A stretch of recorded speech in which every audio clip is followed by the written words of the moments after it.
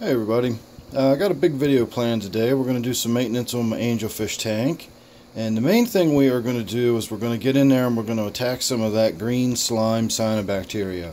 I have it in two places. One is growing on the surface of all the vegetation that's floating on the left. So that's just going to get pulled out. We'll have a look at that later uh, in the video as I pull it out. So that's going to be easy. Just I'm going to remove it and throw it away. Uh, no big issue. The other area I have it in this tank is this strange mat of it that's growing down here.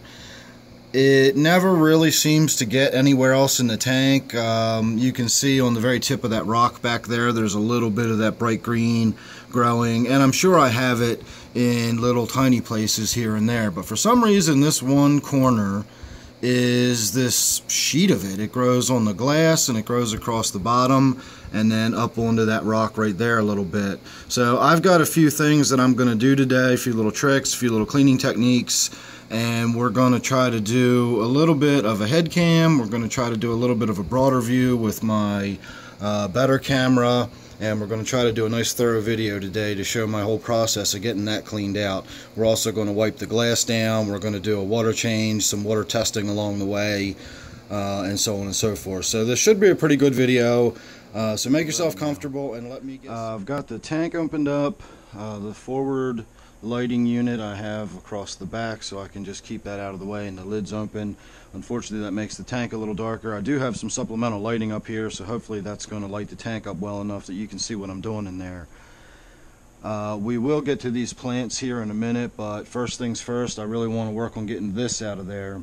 So what I want to do is not use this. I just want to show it to you. This is a gravel vac for a nano tank and it's designed for doing very small water changes. However, it does have the valve and the very narrow neck in here and gravel and sand easily clog this thing up.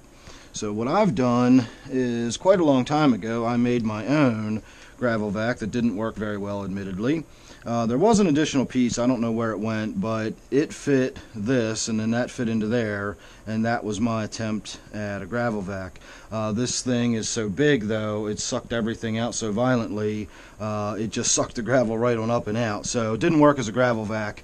Uh, but today it's going to work for my purposes because that's exactly what I want to do. Uh, I'm going to do my best to get in there and just suck all that white sand and just a lot of this nastiness out of here. I don't really like this white sand. This is uh, one of the very, very earliest tanks I put together and I thought that white sand would look cool and I thought it would look good with the mixture of the gravel and I've never liked it. So getting a little out of that out of there is not going to hurt my feelings. I do have a bunch of gravel that I can replace it with uh, if I feel the need. So the first thing we're going to do is we're just going to see how much of it we can just suck right off the bottom. Uh, and then of course we've got my handy dandy razor blade on a stick scraper. The razor blade here does need to be replaced. I can see it's a little rusty and uh, scratchy.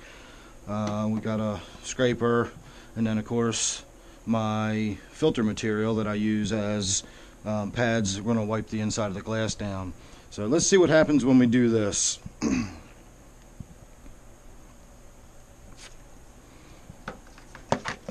hopefully that'll stay in the bucket. But boy, it really drains quickly. Yeah, that's what I was hoping to see. I just want to suck all that stuff right off of there.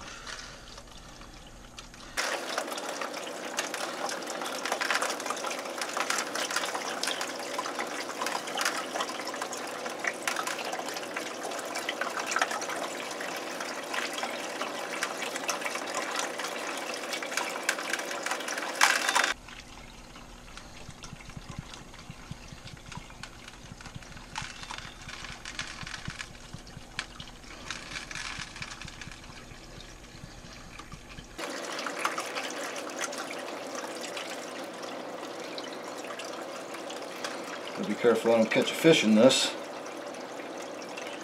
Well, I gotta say, this is working much better than I had anticipated. I'm not really to have to get in there and do a lot of scraping. And considering as easy as this is, I don't really have to worry a whole lot about it coming back. If it does, I can just do this again and clean it right out. Get rid of a lot of this nastiness in this corner.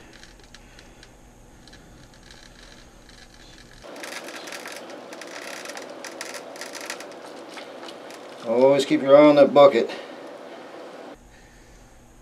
So I am going to actually call that good because it's starting to clog up anyway. And I did miss some. Uh, I can see back there, there's still some sheets of it. So we're going to go ahead, try to get this emptied out without spilling this stuff everywhere. And then we're this bucket and we're going to keep on going because that was really effective.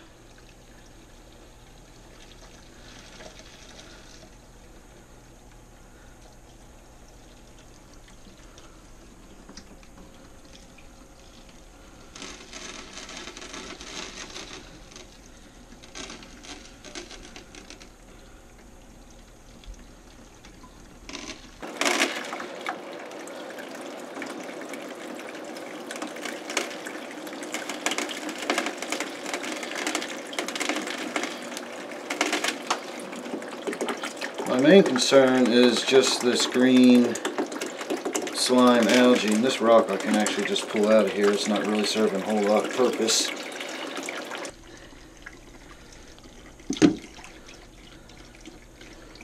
Some of these can get snipped back. Uh, in case you're wondering, if you were following along with my angelfish saga, none of the wigglers made it. Um, sorry about the back of my hand again. It's just hard to do this in this position. Uh, the wigglers got placed in these leaves, and then, of course, as soon as they were there, the red Serpae tetras had the advantage because they were able to simply get into the areas where the angels couldn't get to them and just eat their fill of eggs.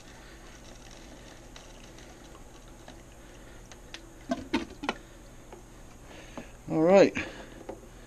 So that is all we're going to do as far as the water change is concerned. It's a little shy of 10 gallons, uh, but that'll be about 10%. So we're actually going to go test some water and see what the pH and the nitrates and everything are in this, and then we're going to work on getting this filled back up. And in the meantime, I'll wipe the glass down, and when we come back, we'll have a look at what the vegetation looks like now that the water level's low, and we'll see what we can do about that. So sit tight, and I'll be right back. All right. Based on how high those nitrates are, I'm thinking I want to do a little more than a 10% water change. They're actually coming in a little higher than I was expecting them to. I thought they'd be just under 40, and I'm calling that just over 40. That's clearly into the red at this point, so that's maybe 50 parts per million, something like that. Uh, that's too high for me. I'm going to bring it down. So we are draining a little bit more water out of the tank while we go back over and pull those plants out, and I'm going to wipe the glass down. That won't take too long. Uh, so it'll be another five or seven gallons out of the tank. The pH in the tank is on the right there. That is about 6.8 and out of my tap is my usual 7.3 so that's a big shift if we were going from one to the other but it's not such a difference that when we do a water change of say 20% it's really going to shift the overall water so we will look at the end to see how much shift we actually got uh, but it won't be too much the nitrates coming down uh, will probably be not that significant either because we're not going to do a huge water change so don't expect uh, much on that end either. But let me go get to it and we will go get some more uh, action footage of cleaning the tank out. Alright everybody we're back over here and we got to move fast because we are losing water pretty quickly. Um, I think I am going to just pull all of the plants out of here. You can see how once we start looking at this you can see how it's got that sort of sheet of green on it so that's some pretty nasty stuff. I think it's just time for a lot of this stuff to go. And fortunately I don't have any frogs or fish or anything in this tank that would be hiding in there that I have to worry about accidentally pulling out. And I'm probably going to leave some in there so that the tank is not completely devoid of floating vegetation. But I definitely want to take the bulk of this stuff out because it's just getting old and funky and it's overgrown uh, this stuff grows back fast enough that it won't be an issue. And I have enough of it in enough of my other tanks that that won't be an issue either. I can simply wait until I've got too much in another tank in a week or so and it'll be enough to fill this tank back up. So that's never really a concern either. See I'm not really seeing any of this stuff that looks like it's worth keeping in there. And of course once you pull the bulky plants out. All you've got left floating is all this debris. So I can worry about this debris later. I can get in there with a net and skim the surface. As I said, we're a little pressed for time. I don't want to drain too much water out of the tank because um, I still will be shifting the pH. So this is just going to be a nice simple wipe down. You can already see the amount of stuff I'm picking up on the pad here. So this is a pretty big disturbance for everybody, but they've been going through this for a couple of years now, so not that big a deal. The angels just tend to hunker down in a corner somewhere and wait for it to all be over.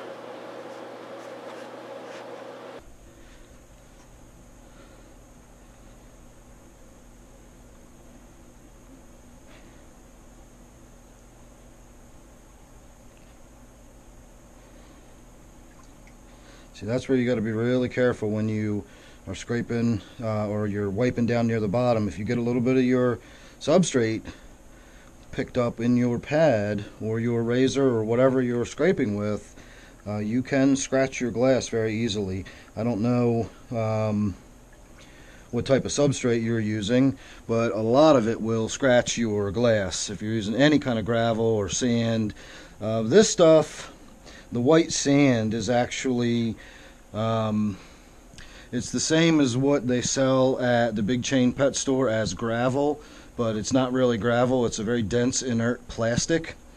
And this stuff is just like the fine little bits that are left over. I always imagine kind of, you know, as the machine runs during the day, all the little bits that fall through the cracks get collected up at the end of the day and they sell it as sand uh, instead of gravel.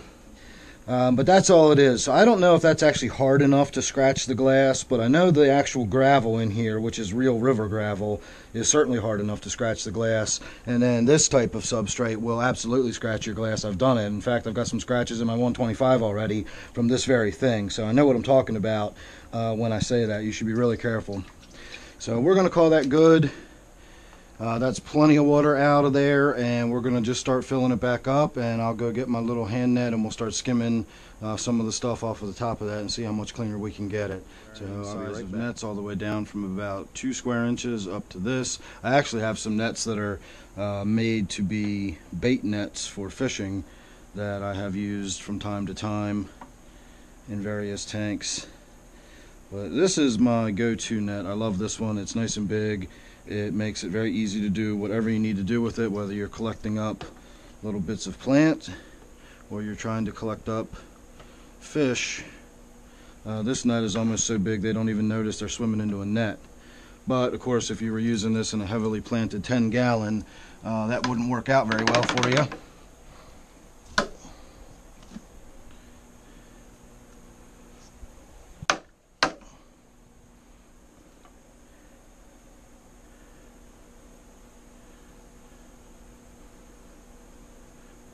So if you can see all those little tiny green bits, that is actually uh, duckweed. I put duckweed in this tank at one point uh, a year or two ago, and if you've ever put duckweed in a tank, you'll know you'll never get duckweed out of your tank. Well, you can, but you've got to get every single solitary little piece of duckweed out of your tank, or your duckweed will just keep coming back. If you leave one piece of duckweed in there alive, it will grow back. Um, it's just kind of a nuisance once you put it in there. I was told I'd regret it, and while I don't necessarily think I would say I regret it, uh, I definitely underestimated the staying power of duckweed. So one other thing I will do when I'm done doing something like that with the net, because you know we just cleaned up a bunch of cyanobacteria laden plants and everything, and I've scooped them up in this net. I will use my hydrogen peroxide. And I'm not going to do it over here. I'll go do it over in the sink. But I'm going to thoroughly spray this net down with hydrogen peroxide to sterilize it. And then we will go ahead and get on with filling this back up. Uh, it is already filling at the moment, uh, but we'll let that continue. So. Alright, now that the tank is refilled, we have rechecked the pH and the nitrates. So this is my tap water. This was our original tank, and that is now the finished tank. So if we look at the original tank against the card, it comes out at pretty much exactly at 6.6. We look at the new after tank, and it comes out pretty much exactly on 6.8. So we're doing fine as far as the pH, no big swing. It did shift a little bit, but that again was a fairly significant water change. The pH, I mean the uh, nitrates here, you can see have clearly dropped from very bright red down into the uh, above 20 still. I'm definitely calling that oranger than the 20, but we're def definitely below 40 now. We're definitely into the orange. So no sweat on the nitrates, and we will be doing a little more work on that tank soon. So even though I won't do a big water change on it, uh, a little more of an additional water change will lower these even further without affecting the pH very much. My buffering capacity in my tanks is very low. So this pH will have adjusted by tomorrow. We should be having uh, the pH stabilized back around 6.6 where that tank normally sits. So one last look at the tank and we'll be all done.